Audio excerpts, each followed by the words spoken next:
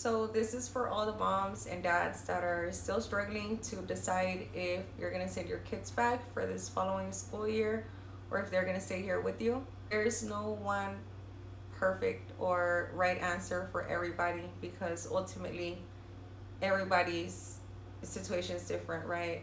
I can tell you my share and then somebody else can say theirs.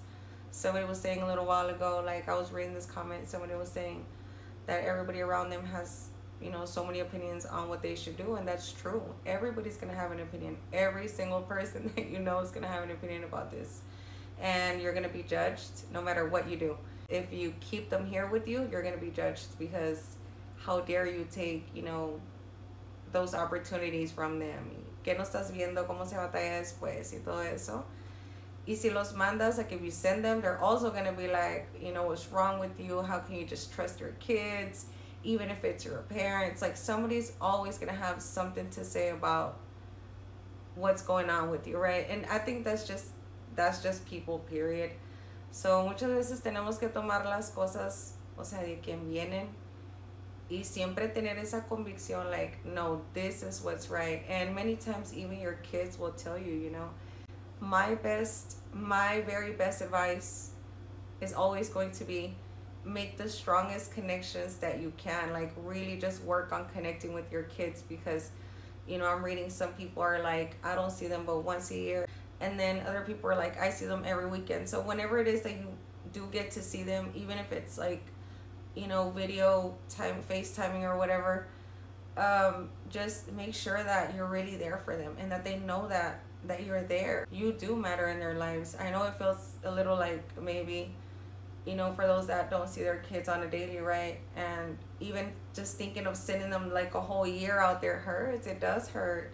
It does. It really does. I'm like on the other end of it, right? My my son's older. He's gonna, you know, you know, continue like going to school and like college and all that. Like he's gonna continue on his journey, right? And then eventually work and everything.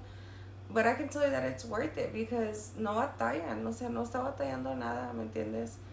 Y vas a batallar ahorita con ese desapego, pero después se va a ver, o sea, el sacrificio. Pero si lo dejas también aquí, por ejemplo, yo que tengo aquí, like my youngest is here, right? And he's doing school here and his English is not, you know, all that great like it would be, you know, if, if we were out there because in my house, like here at the house, my husband speaks Spanish and, you know, we mostly speak Spanish and we've kind of just gotten used to it. You know, it's just to the Spanish.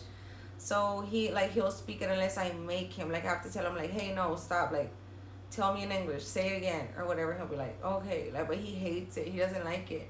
And he doesn't even find it useful, right? So I've had to kind of learn to respect him on that. And I've I've known of deportees that their kids, you know, they don't speak like the they don't speak the English language. They just speak Spanish, because like this one um, homie of mine that we kind of grew up together right he's he's younger. I'm like an older sister to him right? And he got deported early on too like me. And he of course you know met his wife got married. I think he's in either veracruz or puebla i don't remember.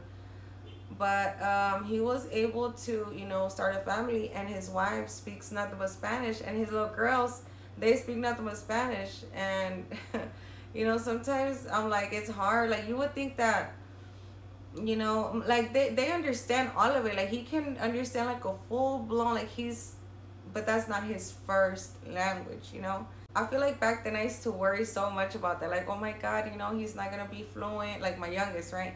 He's not gonna be fluent. And even mark like both of them i used to worry about that. But now i'm like shoot as long as they know how to communicate properly right? And they use it when they need it. And all else i mean honestly we're really just thinking about staying here. So you know, he's gonna have enough language to, I mean, defenderse like in either one. As long as he's bilingual, I don't think it really just matters, right? O sea, yo pienso así.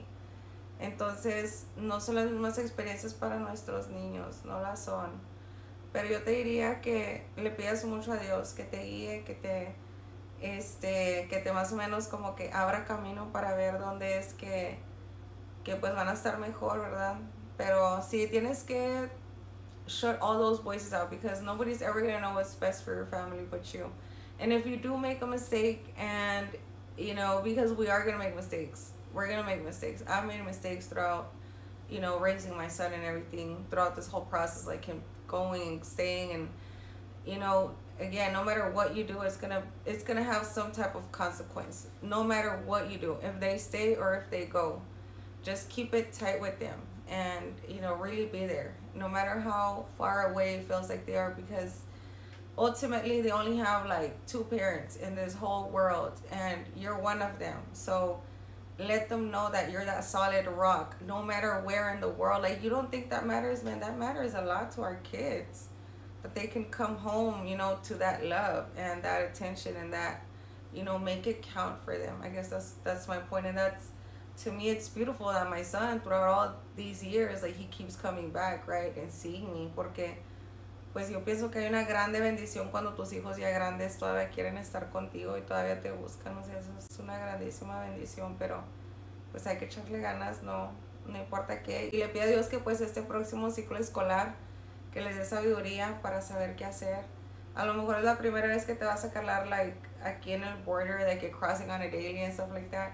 You know what, if you do have to cross on a daily, like let's say, you know, your kids are like back and forth and everything, or maybe they stay out there the whole week and then they just cross back on the weekends. I don't know, some people do it differently.